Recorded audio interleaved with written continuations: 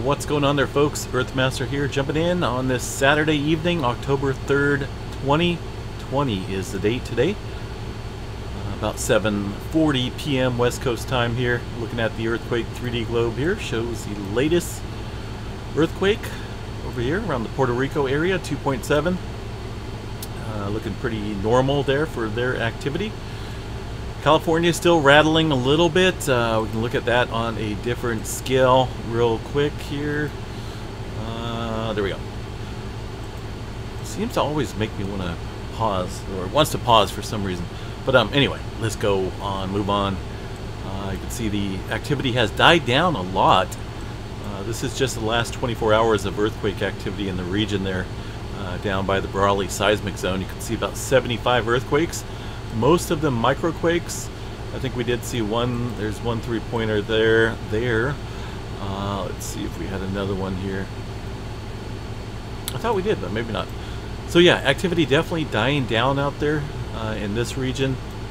But up to the north here, uh, looks like it's picking back up again around the Nevada area. Also into parts of California there too, kind of doing a little uh, interesting uh, curve right there latest quake over here near Mount Whitney. Mount Whitney is actually pretty good distance uh, from here. This can be a 2.2 here around the Lone Pine area. Of course, the Lone Pine Owens Valley fault system out here, uh, very capable of producing a large quake. Back in 1872, it did that exact thing. Uh, and then Nevada is kind of interesting to see this little uh, area right here. You got Long Valley Supervolcano uh, within this area here. Uh, just a little, little microquake uh, popping off in that region, but kind of a little interesting loop right there, if you will.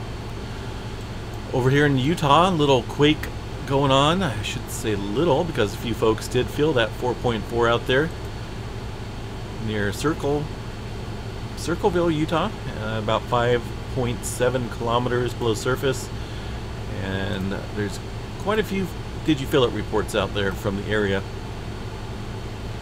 4.2 definitely be able to uh, uh, feel that earthquake. Most people should anyway. Um, historical earthquake activity out there. Of course Utah uh, they do see some quakes not all that common but uh, definitely uh, does happen out there Uh, let's see what else we got here, folks. Um, Pacific Northwest, really quiet. And this is the all magnitudes up here, huh? Nothing. Pretty much nothing above the, uh, oh, right around the Northern California area northward.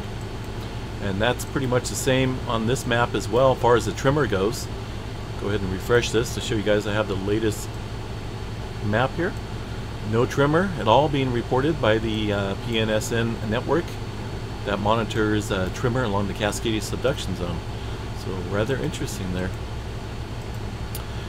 And actually, if you if you take a look at the general area, pretty much even Alaska looks pretty quiet. I mean, there is some earthquakes up here, but uh, for the most part, with this all magnitudes on here, we should be uh, we should definitely be seeing a lot more than that. Pretty much, uh, pretty quiet over there, that's for sure. Um, of course over here is little active. We've uh, seen activity pick up here over the last 24 hours out here in the western part of the Pacific Ring of Fire. And some quakes going on up here around the Greenland area. This might be uh, well, a pretty good sized quake right there. Not for sure if this is volcanic related or not. We got about 10 kilometers below surface for that 5.3. Uh, Yellowstone real quick. There we go. See a little bit of swarming over here in the Norris Junction region earlier. Uh, earlier this morning could see some small microquakes going on there. But since then, activity has uh, appeared to die down quite a bit. Some wind interference over here that's that wind signature right there. And looks like that 4.4 that popped up there in Utah also showed up on a lot of these seismograph stations there. So, and that that's pretty normal, pretty normal for a 4.4 to show up there, even at the distance from um, Yellowstone to um, Utah. So yeah, I'm gonna make this a short one, folks. Um, got a headache or some kind of cold going. Maybe not a cold, but it could just be the smoke again. It's pretty smoky out here in California. Uh, just not not feeling the best tonight. So I'm gonna be the party pooper and go to bed pretty early. I mean, it's only 7:43 here, uh, so I will probably uh, make this an early night. stay safe out there, everyone. Um, we will be back here tomorrow, hopefully back to 100%.